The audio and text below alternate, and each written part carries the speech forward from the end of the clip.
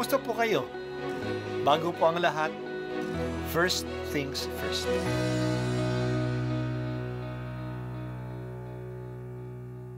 Good morning po. Sinisimulan po natin ngayon ang first things first. At dito po, tinatalakay natin sa unang bahagi ng umaga natin ay ang first readings na binabasa po sa banal na misa. Ito pong tinatalakay natin kasi madalas po kasi marami na tayong alam tungkol sa gospel readings. Pero konti po ang nagsasalita sa first readings.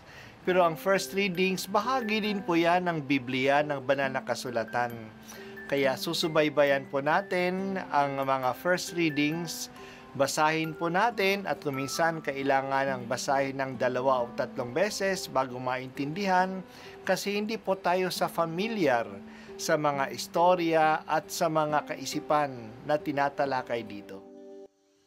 Ang pagbasa mula sa unang sulat ni Apostol San Juan mga pinakamamahal, ito ang aming narinig kay Heso Kristo at ipinahahayag namin sa inyo.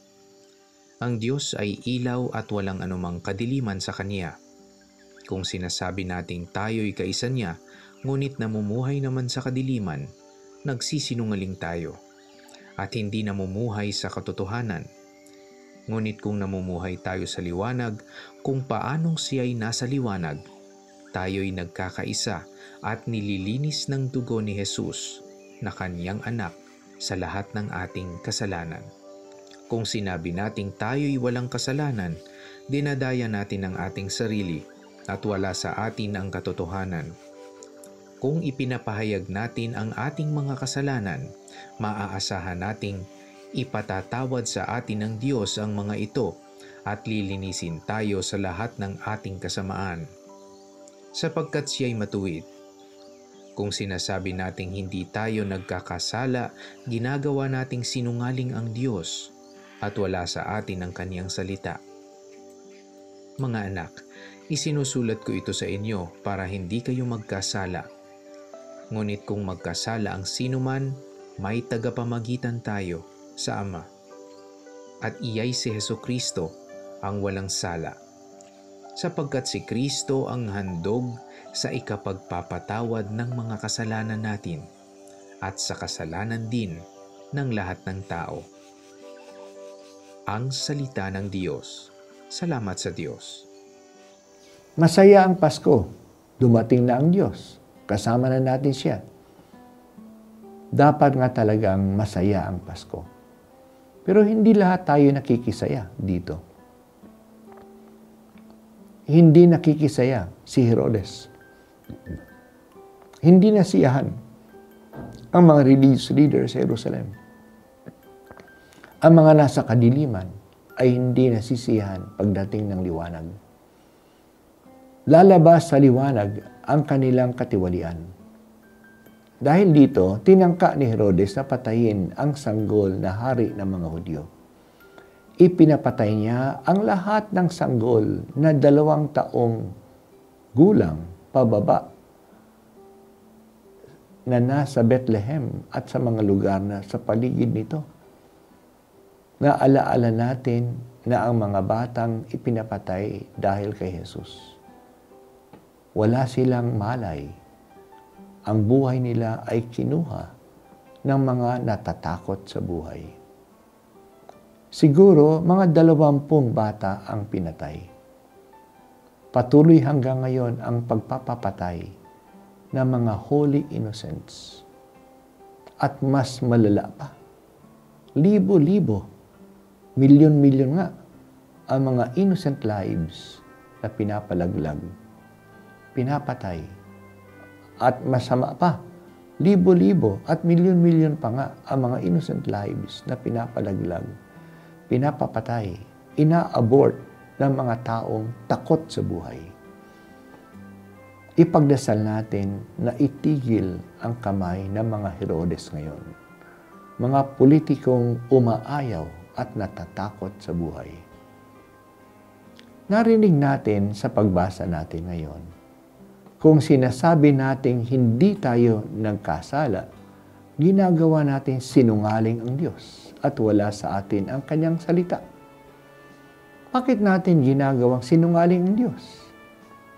Kasi pinadala ng Diyos ang kanyang anak upang patawarin ang ating mga kasalanan.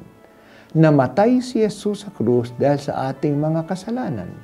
At sinasabi natin na wala naman pala tayong kasalanan. Mali pala ang Diyos.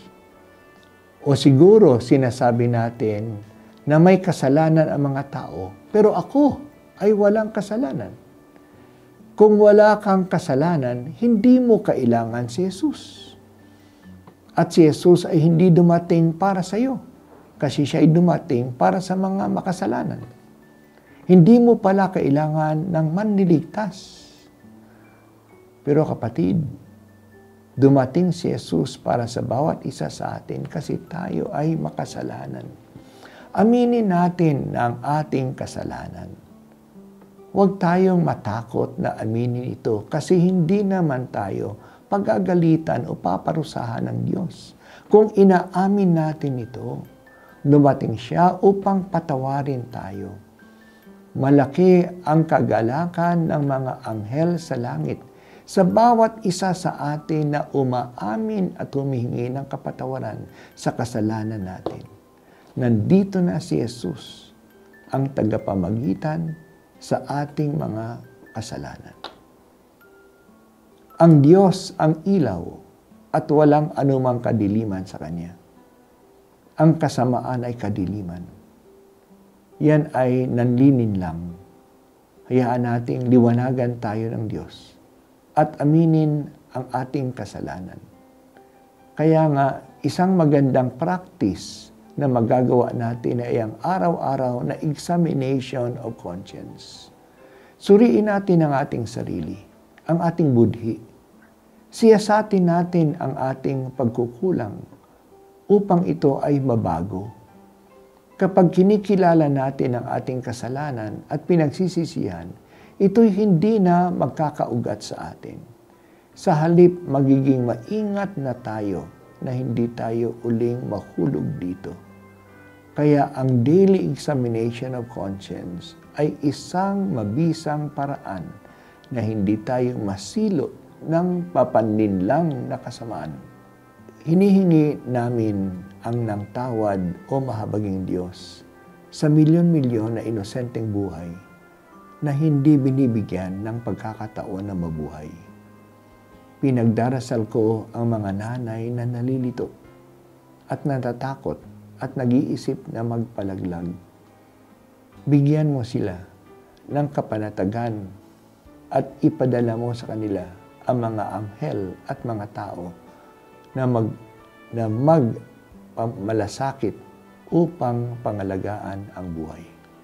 At ako po ay si Bishop Broderick Pabilio dito sa First Things First.